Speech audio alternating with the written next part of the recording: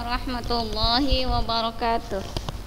Innal hamdalillah nahmaduhu wa nasta'inuhu wa nastaghfiruh wa na'udzu billahi min syururi anfusina wa min sayyiati a'malina. May yahdihillahu fala mudilla lahu wa may yudlil fala hadiyalah. Asyhadu an la ilaha illallah wa asyhadu anna Muhammadan abduhu wa rasuluh alladzi la nabiyya wa la rasula ba'dah amma ba'dah. Baik. Sabahul khair ayyatuha talibat. Sabahun nur. Kaifa halukunna an? Alhamdulillah bi khair wa afiyah insyaallah.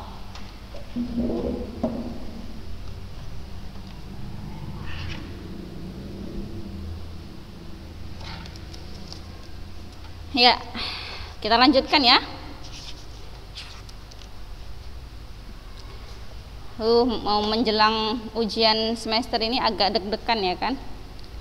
Mudah-mudahan bisa ya kalian bisa menjawab ujian ya.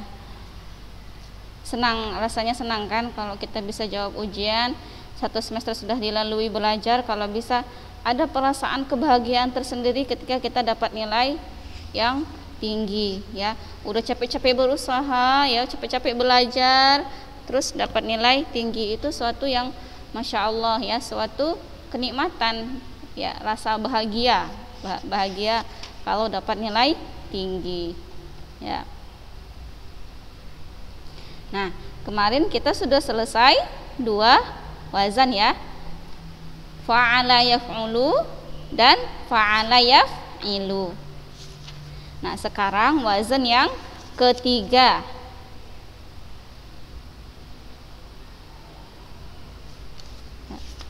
Wazan yang ke tiga halaman 56 ya buka halaman 56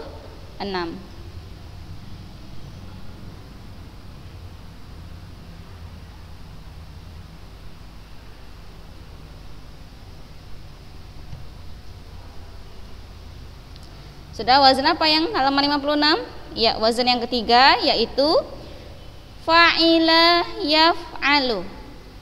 Nah ternyata fa'ila yaf'alu dia ada pada semua bina ya. Wazan ini mencakup semua bina ya. Berarti wazan fa'ila yaf'alu ini banyak fi'ilnya ya. Karena dia semua bina ada bina sahih mudha'af mahmuz misal na ajwaf naqis lafif mak mafruf dan lafif makrun semuanya ada. Berarti fi'ilnya bah, banyak. Ya untuk wazan fa'ila yaf'alu. Nah ini kita selesaikan ya. Kita selesaikan. Nah karena ini pertemuan minggu depan kita udah ulangan ya ulangan bulanan dan ujian praktek insya insya Allah. Sudah sudah bacakan ya.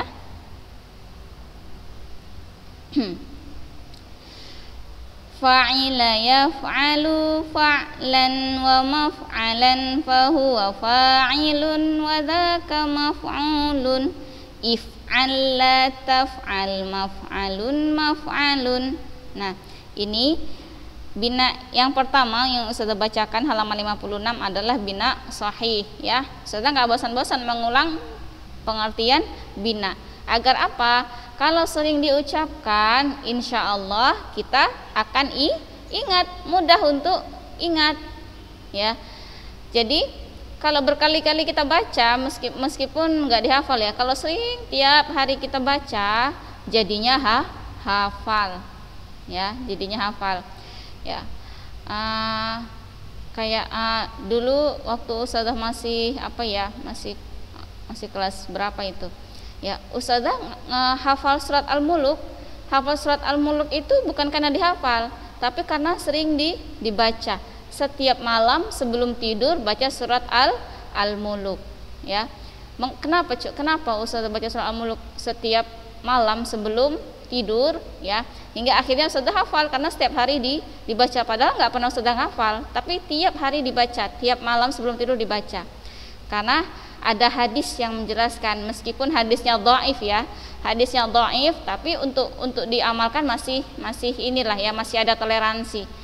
Ceritanya gini di hadis itu lebih kurang begini ceritanya. Ya uh, ada uh, seorang anak seorang anak laki-laki ya seorang anak laki-laki itu dia tertidur. Nih uh, ibunya kan sudah meninggal. Ya ibunya sudah meninggal ya. Ibunya sudah meninggal kemudian um, anak laki-laki ini dia tidur. Dan dalam tidur dia dia bermimpi ya. Dia bermimpi bermimpi jumpa dengan orang orang tuanya ya dengan dengan ibunya ya. Kemudian dalam mimpi tersebut didapatinya ibunya berpakaian sangat indah. Berpakaian sangat indah ya sangat indah ya. Cerah ya menampakkan dia senang ya senang. Ibunya itu senang ya. Baru anaknya itu e, bertanya wahai ibu mengapa keadaanmu sangat sangat indah ya cerah cantik? Mengapa keadaanmu sangat sangat baik kata anaknya tadi. Ya. kemudian ibunya menjawab ah, terus anaknya sebelum dijawab sama ibunya apakah karena engkau dulu suka bersedekah? Ya suka bersedekah. Ya. Ibunya dulu semasa hidup ibunya orang yang dermawan ya suka sedekah. Ya pokoknya orangnya sangat dermawan ya sangat dermawan ya suka sedekah. Terus apa jawaban ibunya? Tidak anakku. Ya bukan karena sedekah ya. Dulu aku uh, menginfakkan hartaku sedekahku itu aku ria sehingga karena aku ria itu tidak berarti apa-apa sama sekali. Nggak berarti apa-apa. Seperti debu yang berterbangan kapas yang berterbangan. Nggak berlaku apa pun.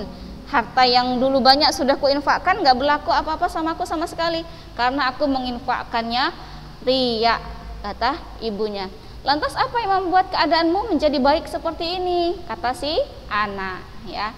Ibunya menjawab, ya, surat Al-Muluk yang kubaca sendirian ketika aku sebelum tidur tidak ada yang tahu. Ya. Nah, itulah ya amalan tadi yang dikerjakan ikhlas karena Allah dengan amalan yang ria, ya. Jadi yang hmm, hingga keadaanku baik seperti ini, ya adalah karena surat Al-Muluk yang ku baca sebelum tidur. Aku baca sendirian dan aku mengharap ridho dari Allah. Ya hanya Allah yang tahu. Aku membaca surat Al-Muluk sebelum tidur. Nah, jadi itulah surat Al-Muluk itu yang yang yang yang menolong keadaanku sekarang. Nah, jadi ya karena sering tadi ya sudah cerita karena sering membaca ya karena karena baca hadis itulah ya hadis itu ya tentang surat keutamaan surat Al-Muluk ya. Keutamaan surat Al-Muluk nanti kan bisa baca. Ya tapi hadis yang itu dhaif sih memang. Tapi masih ada toleransi untuk diamalkan. Ya baca surat Al-Muluk sebelum tidur. Nah jadi surat Al-Muluk itu karena sering Ustaz baca jadi sudah hafal. Padahal Ustaz nggak nggak nggak nggak nggak asli sudah hafal. Bukan karena tuntutan untuk dihafal bukan. Karena sering dibaca karena sering tiap malam baca itu, tiap malam sebelum tidur baca itu. Jadi terakhir hafal, ya. Gitu juga dengan tasrif ini maksud Ustazah, saya ngambil cerita itu sebagai kias eh, sebagai uh, kias ya untuk disamakan ya. Disam, mm, disamakan dari cerita itu karena sering dibaca jadi kita hafal. Gitu juga tasrif ini. Karena sering kita baca, maka kita jadi hafal. Nah, udah selesai ceritanya ya. Kita sambung lagi ya. Oke, jadi semua itu karena sering dihafal, eh sering dibaca, maka jadi ha, hafal. Ya, gitu juga dengan cita-cita kita. Cita-cita kita kalau kita kita ucapkan cita-cita kita atau kita tuliskan, ya, insya Allah akan tertahan dalam hati dan Allah akan mengabulkannya. Ya, Allah akan mengabulkannya. Tapi ada usaha dong ya, ada usahanya untuk menggapai cita-cita tersebut, keinginan tersebut, diucapkan kemudian dituliskan ya.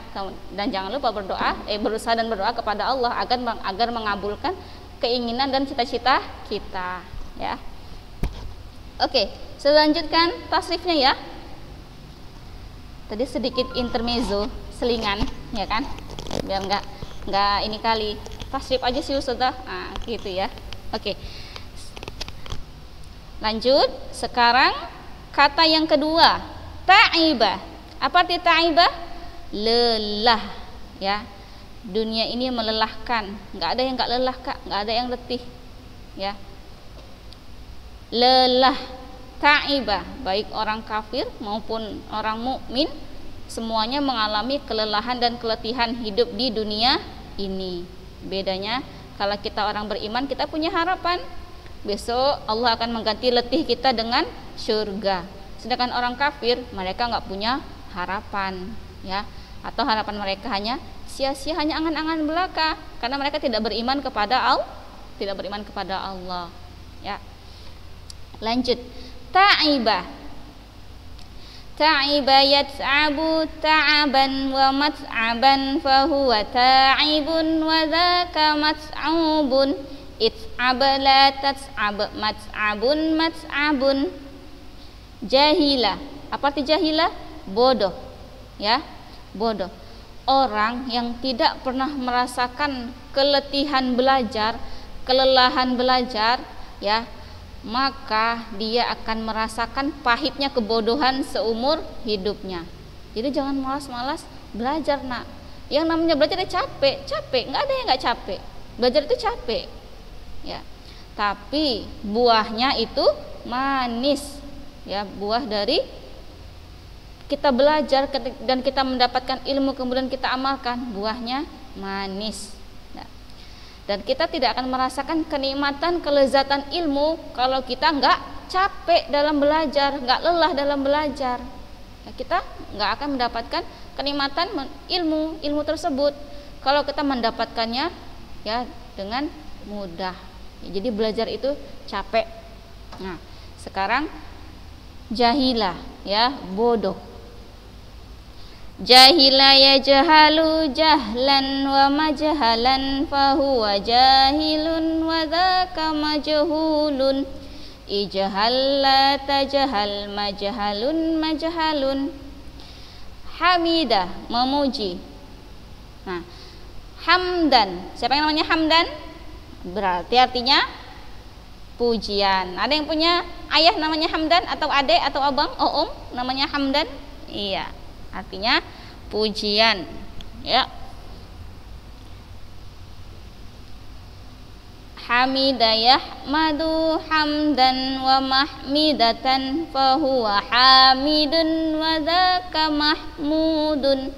Ihmad la tahmad mahmadun mahmadun hamidun. Ya hamidun orang yang memuji. Hamidah wanita yang sering memuji ya, memuji Allah, bersyukur kepada Allah.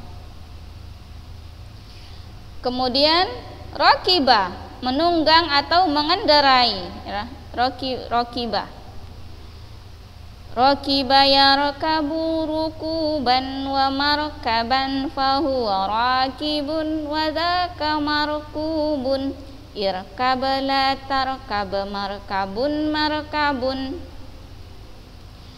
زهد يزهد زهدا ومزهدا فهو زاهد وذاك مزهود. izhadala tazhad mazhadun mazhadun bahagia sa'ida. Sa'ida yas'adu sa'adatan wa mas'adan fahuwa sa'idun wa dhaka mas'udun. Is'adala tas'ad mas'adun mas'adun. Sami'a mendengar. Sami'a yasma'u sam'an wa masma'an Fahuwa sami'un wa dhaka masmu'un. Isma' la tasma' masma'un masma'un. Syariba minum. Syariba yashrabu syurban wa mashraban fahuwa syaribun wa dhaka mashrubun Ishrab la tashrab mashrabun mashrabun. Alima mengetahui. Alima ya'lamu ilman wa ma'laman fahuwa alimun wa dhaka mal'umun. I'lam la i'lam la ta'lam ma'lamun ma'lamun. Yang terakhir amila bekerja. Yang tadi alima mengetahui. Hmm, cuma beda urutan aja ya. Alima dan amila. Artinya udah udah lain ya kan? Bergeser aja hurufnya. Sudah lain artinya. Apa artinya? Amila beramal atau bekerja. Amila ya'malu amalan wa ma'malan fahuwa amilun wa dhaka ma'mulun i'mal la ta'mal ma'malun ma'malun. Nah Masya Allah berarti wazan fa'ila yaf'alu itu kata kerja yang sehari-hari sering kita pa pakai ya kan? Berarti yang paling banyak yang paling banyak fi'ilnya itu wazan fa'ila yaf'alu. Kita lanjut ya. Wazan ma, uh, fa'ila yaf'alu bina mahmuz Nah, bina mahmuz. Apa bina mahmuz? Ingat, mahmuz itu artinya hamzah, mahmuzun. Berarti yang terhamzai atau dihamzai. Berarti di dalam kata itu ada ham, hamzah, mahmuz. Wazannya apa mahmuz? Maf'ul. Betul kan? Maf'ulun, mahmuzun yang dihamzai ya, yang terhamzai, ada hamzahnya berarti. Azina memberi izin Azina ya'zanu idnan wa ma'zanan fahuwa azinun wa dhaka ma'zunun Izan la ta'zan ma'zanun ma'zanun Asima berbuat dosa. Asima ya'samu isman wa ma'saman fahuwa asimun wa dhaka ma'sumun Isam la ta'sam samun mak samun. Azifa dekat atau cepat. Azifa ya zafu azafan wa zafan fahuwa azifun wa dhaka ma'zufun. Izaf la ta'zaf ma'zafun ma'zafun. Asifa berduka cita asifaya safu asafan wa maksafan fahuwa asifun wa dhaka maksufun. Isaf la taksaf maksafun maksafun. Asina beruban asina ya sanu asanan wa maksanan fahuwa asinun wa dhaka maksunun. Isan la taksan maksanun maksanun mi enggak ada. Ashiba lebat. Ashiba ya syabu ashaban wa makshaban fahuwa ashibun wa dhaka i syabla tak syab mak syabun mak syabun. Marah. Asyiha asyihaya syahu asyahan wa mak syahan fahuwa asyihun wa dhaka syuhun. I syah la i syah la tak syah mah syahun mak syahun. Afina. Lemah akalnya afina ya fanu afanan wa ma'fanan fahuwa afinun wa dhaka ma'funun. Ifan la ta'fan ma'fanun ma'fanun. Siapa yang namanya Ifan? Ha, Ifan berarti Ifan lemahkanlah akalnya lemahkanlah akal. Ya Ifan lemah lemahlah akal Alifah jina terbiasa senang. Alifaya lafu alfan wa ma'lafan fahuwa alifun wa dhaka ma'lufun. Ilaf la ta'laf ma'lafun ma'lafun. Oke lanjut ke tasrif berikutnya. Bina mudha'af halaman 62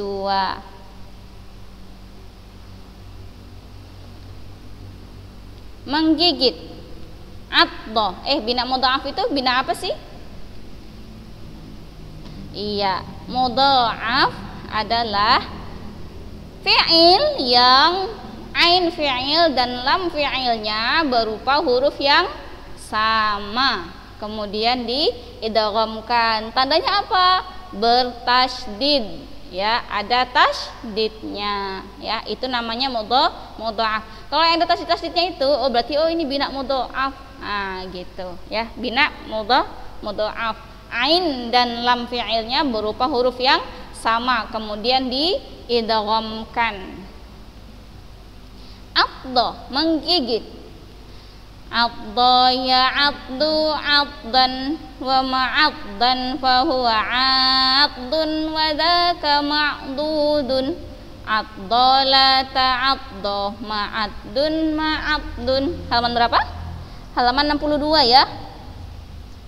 Halaman 62 Lanjut. Basya ceria. Ya. Ceria orang yang orang yang baik itu ya orang yang wajahnya ceria ya. Kenapa? Dengan keceriaannya itu dia membagi kebahagiaan dengan orang lain meskipun hatinya hancur lebur remuk redam ya. Meskipun hatinya hancur tapi dia selalu ceria. Mengapa? Ya karena dia punya harapan karena dia punya harapan dan punya dia tahu punya ilmu bahwasanya tidaklah Allah menakdirkan suatu masalah, suatu musibah, suatu cobaan, suatu ujian ya. Apa pun dalam hidupnya kecuali itu yang terbaik dari yang terbaik yang diberikan Allah dari yang diberikan Allah kepadanya. Itu hal yang terbaik yang Allah takdirkan untuknya ya. Sehingga dia mampu menutupi kesedihannya dan dia tampakkan wajah cerianya ya. Dan dengan keceriaan itu dia membagi membagi ya bahagianya itu dengan orang lain. Sehingga orang yang sekitarnya juga merasa senang nggak sedih bawaannya nggak merengut ya nggak berkerut nggak suka mengeluh ya. Orangnya selalu ceria ya. Nah jadi belajarlah untuk menjadi orang ceria meskipun hatinya sedihnya nggak karuan. Ya meskipun banyak masalah ber, bertumpuk-tumpuk masalahnya. Oke kita lanjutkan. Basya ceria. Basya ya basyu basyashatan wa mabasyan fahuwa basyun wa dhaka mabasyushun basyala tabasya mabasyun mabasyun hampir tenggelam. Zabba. Zabba ya zabbu zababan wa mazabban fahuwa zabbun wa dhaka mazbubun. Zabbala tazabba mazabbun mazabbun. Dhanna kikir Dhanna ya dhannu dhannan wa madhannan fahuwa dhaninun wa dhaka matnunun dhanna la tadhanna madhannun madhannun assa assa ya assu assan wa ma'assan fahuwa assun wa dhaka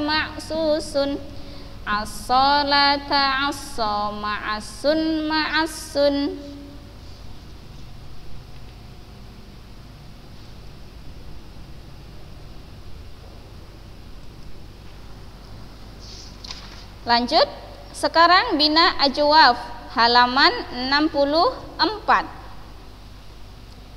Apa itu bina ajwaf? Ya, ajwaf adalah fi'il yang ain fi'ilnya berupa huruf illat. Ain fi'il itu di tengah kan? Nah, di tengah di tengahnya itu huruf illat, huruf sakit. Nah, ajwab sendiri artinya bolong ya. Ajwab itu artinya bolong, kosong tengahnya ya. Jadi huruf illatnya ada di tengah ya. Ingat aja huruf illatnya ajwaf. Oh, huruf illatnya ada di tengah. Berarti di ain fi'ilnya ya. Apa contohnya? Nah, ini dia. Khofa. Halaman 65. Halaman 65 ya. Khofa ya khofu khaufan wa ma khafatan fa huwa khaifun wa dzaka makhufun. Khaf la takhaf ma khafun ma khafun zala. Zala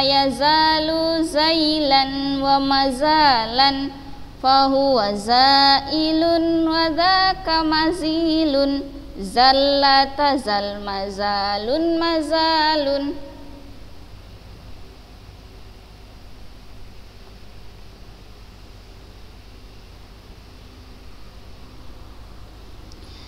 Zama berkata sepatah kata. Zama ya zamu zaiman wa mazaman fahuwa zaimun wa dhaka mazimun Zamlata zam mazamun. Sya'a menghendaki. Sya'a yasha'u syai'an wa masyi'atan fahuwa sya'in wa dhaka masyi'un. Sya'la tasya' masya'un masya'un Sekarang bawahnya ya. Nala. Memperoleh. Siapa yang namanya Nala? Memperoleh ya. Nala yanalu nailan. Yang namanya Naila. Nala yanalu nailan. Wa manalan. Fahuwa nailun. Wa fahuwa nalin. Nailun ya. Fahuwa nailun. Wa manulun nal manalun manalun. Nama tidur. Nama yanamu nauman wa manaman fahuwa naimun wa dhaka manumun. Namlata nam manamun manamun. Lanjut. Bina misal halaman 68 Nah Misal Misal adalah fi'il yang fa fi'ilnya berupa huruf illat.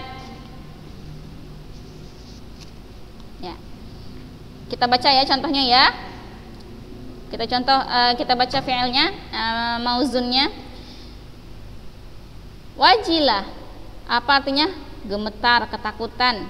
Wajila yaujalu wajalan wa maujalan fahuwa wajilun wa dhaka maujulun ijalla taujal maujalun maujalun sakit waji'a bawah ya yang kata yang keempat. waji'a yauja'u waja'an wa mauja'an fahuwa waji'un wa dhaka mauju'un ija' la tauja' mauja'un mauja'un lapang, luas atau lapang. Kata yang kelima. Wasi'a yasa'u was'an wa mausa'an fahuwa wasi'un wa dhaka mausu'un. Isa' la tausa' mausa'un mausa'un. Yang terakhir wazan